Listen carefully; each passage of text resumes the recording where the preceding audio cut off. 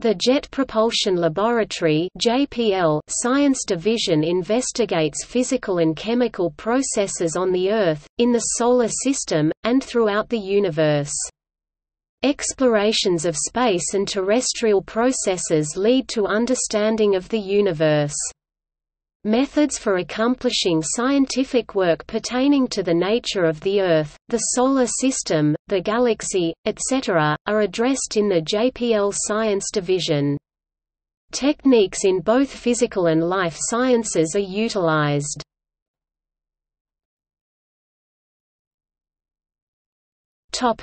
Coverage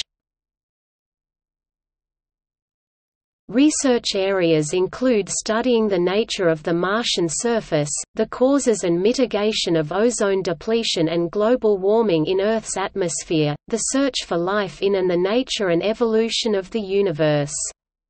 These are significant issues related to NASA's mission. Theoretical and experimental studies are conducted which lead to new missions. They are engaged in the development of new instrumentation and in the analysis of data, publishing new scientific knowledge, and in the communication of that knowledge to the general public. Not all science at the Jet Propulsion Laboratory is contained within the Science Division. Approximately 30% of JPL scientists are embedded in other divisions.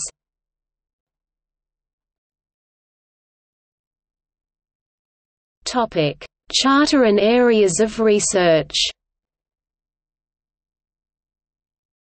JPL's charter is to conduct robotic space missions for NASA, to explore planetary systems, understand the origin and evolution of the universe and make critical measurements to understand the Earth, which leads to its protection.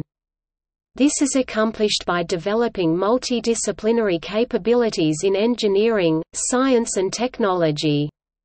Research in space science, as well as advancing technologies, produces the ability to implement missions for NASA. The division's science, technology, and engineering research covers many areas of planetary, astrophysics, and Earth science, both as basic research leading to new observations and mission concepts, as well as research based on the data acquired by JPL flight projects. Technology research covers areas ranging from robotic systems, a range of in situ and remote sensing instruments, deep space communications and navigation, information systems, precision flying and planetary protection and survivability.